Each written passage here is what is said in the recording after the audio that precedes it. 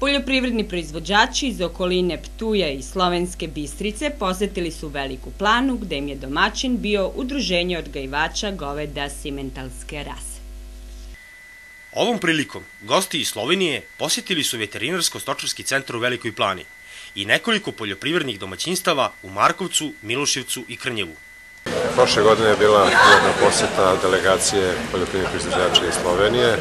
Evo i ove godine još jedna delegacija došla iz Slovenije iz okoline Ptuja, tako da imaće prilike da vide ovih dana, odnosno danas, juče su tu već došli u Beograd, danas ovdje u Veliku planu i po programu imaju još obilazak u Srbiji, tako da će oni imati prilike da se upoznaju sa našim poljoprivrednim proizvođačima, da vide šta mi to radimo i kako radimo. Evo, prilikom danas su videli ovde šta imamo u centru i koliko ja vidim, bar po njihovim izjavama pozitivno mišljenje onoga što mi ovde držimo u centru i ono o čemu se mi ovde primimo i čime se bavimo. I ovo je dobra prilika da oni razmene mišljenje i iskustva sa našim poljoprivrednim proizvođačima, da kažu šta je to kod njih što je bolje ili šta je to kod nas što je bolje. U principu dobro je da se družimo i da pravimo kontakte i da na taj način stvaramo sve mogućnost da sa poljoprivrednim proizvođačima i stručnim službama iz našeg okruženja imamo jedan, jednu saradnju stvorimo na taj način i da se to tako i nastavi u budući, znači na dobrobit poljoprivrednika. Ja sam vođa sličnog centra na Ptuju, gdje, gdje isto držimo uh, isključno bike simentalske rase. Sad, uh, utisci su super, mislim, ja sam znao šta, šta, šta, ćemo, šta ćemo da vidimo, baš zbog toga doveo sam ove ljude, ove uzgajivače iz naše regije ovamo. Tako da se vide da uh, simentalska pasmina je, je jedna, uh, selek, to je jedna selekcija čitavoj Evropi, tako da ovi bikovi su isti kao što su na Ptuju, isti kao što su u Njemačkoj, na Bavarskoj, pošto svi, svi se koristimo njihove, njihove selekcije još od prije, tako da med, njim, med njimi su, su samo nijanse, a najveće razlike što se, što, se, što se tiče ovih bikova i svega skupa je rat na terenu, rat selekcijske službe, svega skupa i to je, to je jedina mana što nas uh, ločuje od, od Njemačke, njih od uh, vas od nas i sve skupa, tako da ovi bikovi, ovi bikovi svi ba, barem moje, moje mišljenje je takvo, sposobni su davat grla, junice, odnosno krave koje, koje bi imale 7, 8, 9 tisuća litra mleka, ali to, to, to, to treba još da se dostigne. Ali mi znam da radimo dobro i kolega Mirko i ja znamo da rad na svim ovim centrima je isti. To je, tu, je, tu je stečena već Evropa.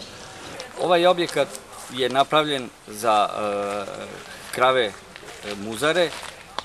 To je ostvareno preko Ministarstva za poljoprivredu e, uz pomoć Stočarsko-veterinarskog centra iz Velike plane gde nas uveo u taj posao gospodin Miša Marinković, doktor Vlasta Jovanović i gospodin Raša kao stručno lice koje je išlo na odabir junica u Nemačkoj. Mi smo uvezli 31, 31 junicu visoko steone koje treba već da se počnu tele za koji dan sve do negde krajem 11. meseca, znači sve 31 treba da se otele.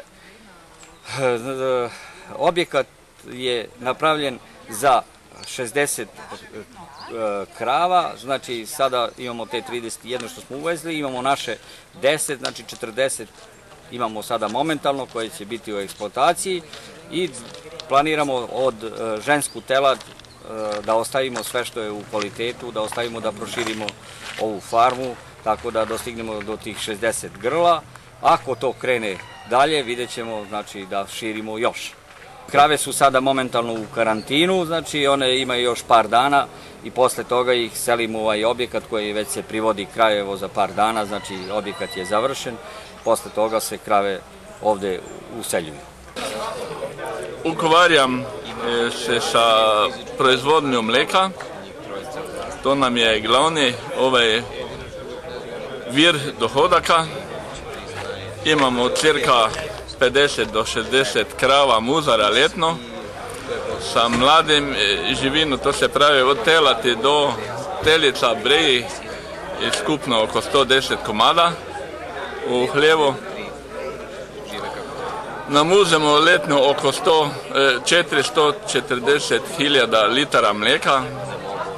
Mliječnost po, po grlo, po kravi je oko 9000 litara.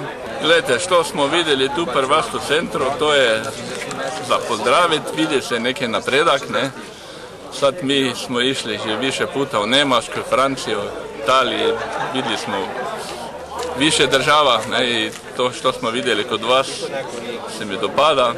Vidi se da, da idete za nekim napretkom i da to tudi vam uspeva. Ono što smo vidjeli tu na ovoj kmetije, to se vidi da je pod Buda ili kako da kažem vašog centra tu. Ove ljudi ili seljak ili kmet, kako da kažem, što su se pat usmerili da naprave ove nove hlev, to je isto da pozdravimo. Koliko vidim tu kod vas pogoji što vam nudi država i, i kako da kažem opštine, da nemaju baš posluha za seljaka i za kmeta, ono što ja smatram da nije dobro za vašu državu, jer država koliko ima na raspolago ovih površina zemljišta bi morala na tome nešto više dodaje, jer potrebe po mleko i meso mislim da su velike. Pozdravljati je treba ove ljude što su se ujunačili, da su išli u izgradnju ovog hleva. Mislim da je ono što je država namenila, koliko sam se zapamtio, 30% ovih sredstva, to je puno premalo. Država bi morala da daje više sredstva za ove zagoni, za spodbudo teh ljudi, da oni počnu i da dobiju neki zagon, neko voljo,